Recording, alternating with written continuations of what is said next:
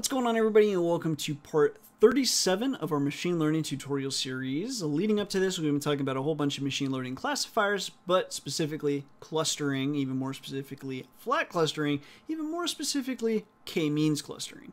So with flat clustering and k-means, the idea is that you, the scientist, get to tell the machine, hey, I want you to separate this data set into k number of groups or x groups, but in our case with k-means, k number of groups.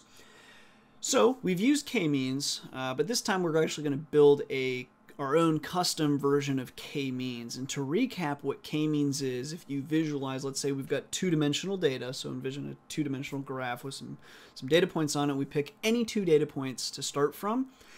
And what we do is we pick any two data points to start from. We measure the distances of every other point to those data points. So we're saying those first two data points are our starting centroids.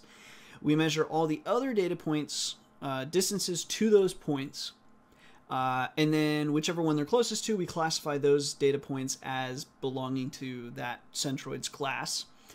And then we take the mean of both classes, and the mean of both classes becomes the new centroid. And we repeat this process over and over and over until the centroid stops moving, and from there we can say the data is clustered.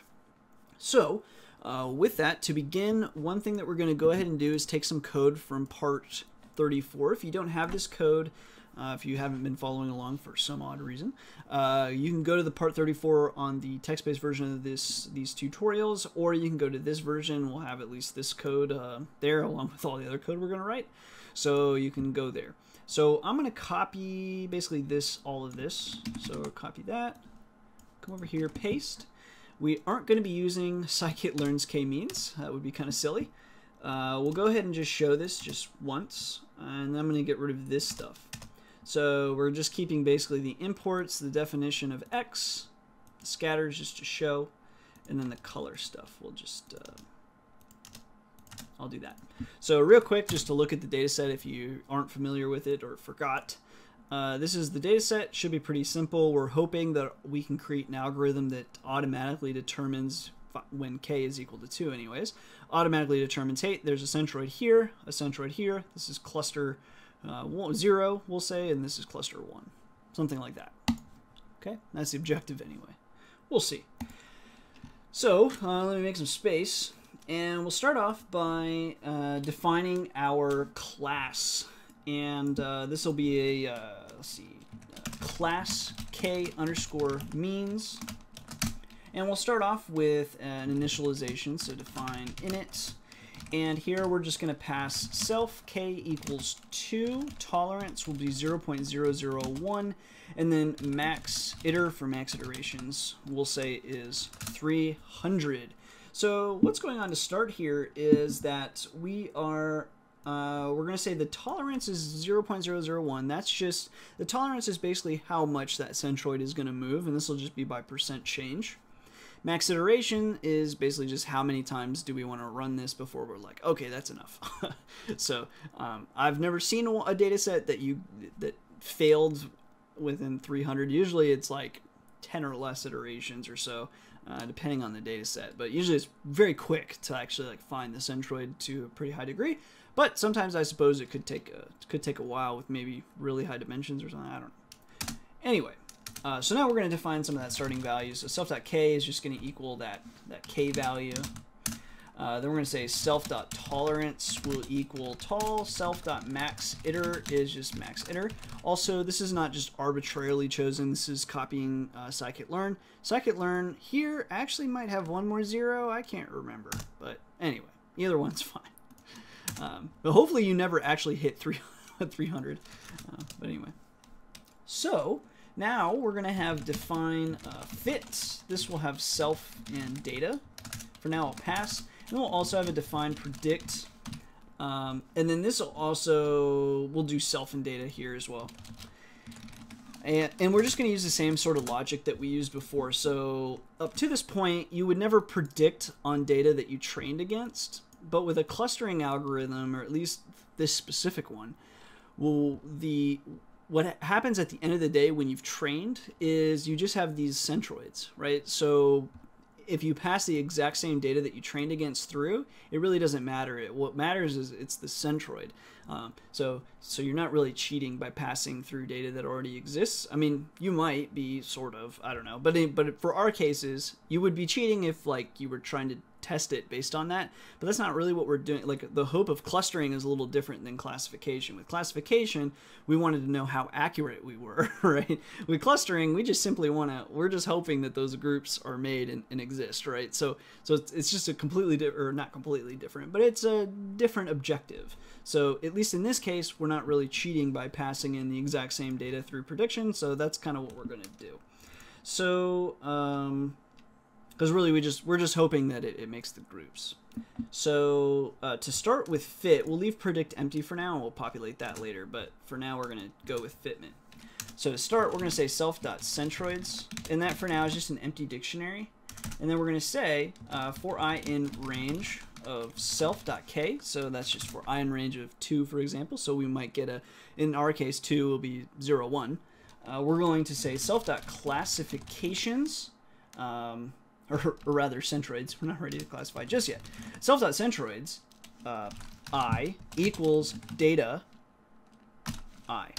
Okay, so so we're just iterating through data, which in this case we'll just pass x. So we're just saying the first two centroids are going to be just this and this. Again, if you wanted it to be random, you could just random.shuffle the data set and then do this exact same operation. It, it should not matter, but that's why you do have tolerance and max iterations, and maybe maybe if you didn't optimize for whatever reason by the time you hit either of these, you might shuffle the data and then try again. But nah, you, I've never had a data set that I that this didn't work on, so I don't know. But I'm sure it's possible. So you could you could I don't know have something coded like that if you wanted. Now what we're gonna do is for i in range of self.max iterations here we begin the optimization process. And don't worry, it's much simpler than the uh, support vector machine was, as you probably already figured out, actually. But anyway, self.classifications, now we're ready, uh, is an empty dictionary for now. And this is just going to contain uh, the, the centroids and the classifications, um, or basically, but you'll see. Anyway, uh, for i, and then again, we'll do in range of self dot k, we are going to say self dot classifications i equals an empty list. So what's going to happen is self dot classifications will the keys will be the centroids, the values will be the uh, feature sets that are contained within those values. So then what we're going to do is, and in fact, maybe what I'll do is since we have that, we could probably just graph that uh, pretty easily. So maybe what we'll do uh, when we go to actually graph all this and uh, show it is actually not do the prediction. We can use predict to truly predict new data.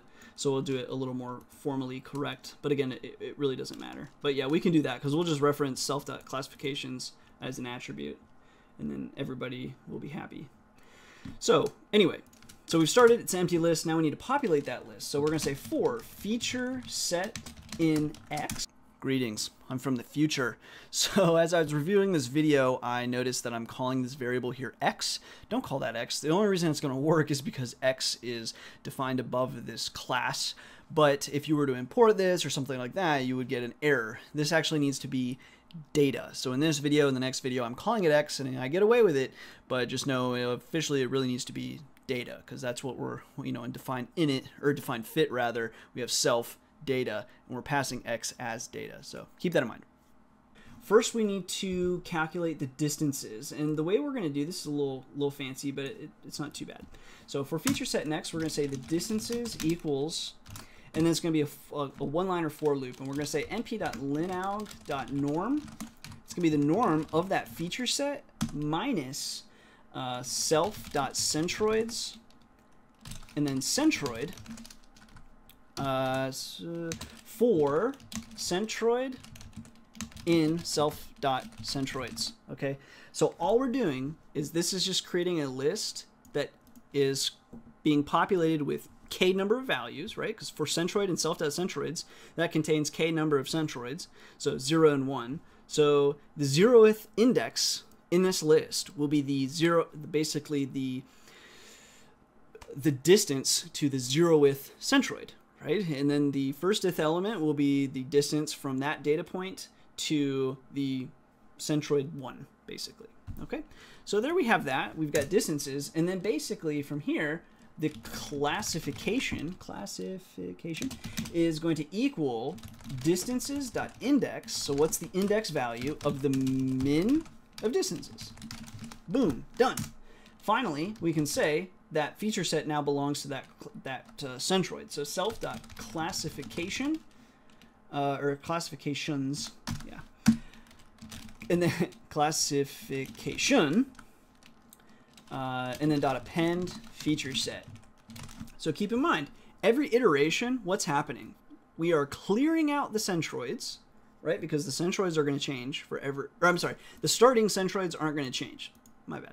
But for every iteration, we're going to clear out uh, the classifications because each time you move the centroids, because uh, centroids basically you're going you're always going to have like a zero and one index or a key rather, but the value is going to change. So you're always going to have the same number of centroids, but here for the classifications, that's going to change every time the centroid changes. So we empty that out and redo the classification every single time.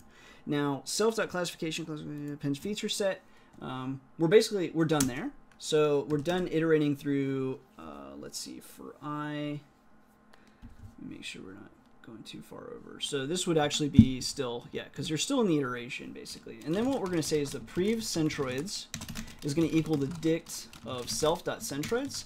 And we basically have to do this because object inheritance, I suppose. But if you just said prev centroids equals self.centroids, uh, it would always equal self.centroids. So as we, what we're trying to do is we're trying to compare the two centroids so we can find how much they've changed. So we can use this tolerance value.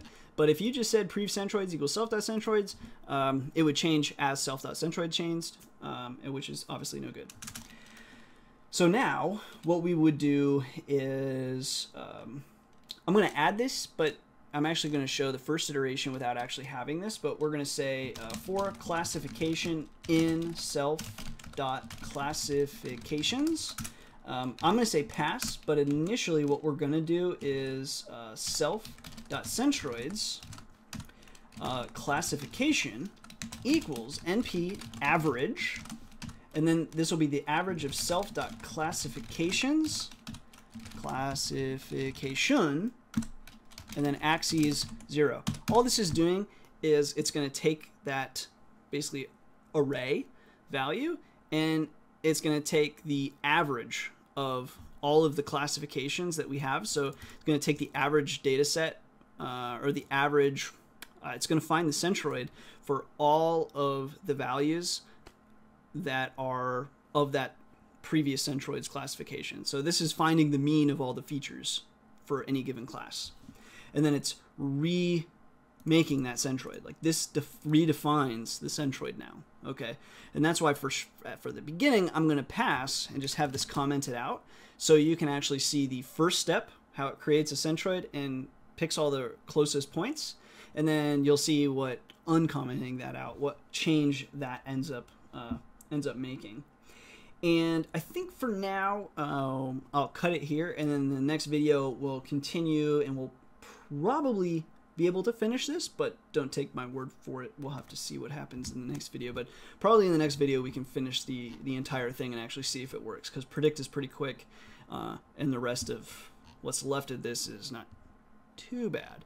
Anyway, um, so anyway, uh, you got questions, comments, concerns, whatever, leave them below. Otherwise, as always, thanks for watching. Thanks for all the support and subscriptions. And until next time.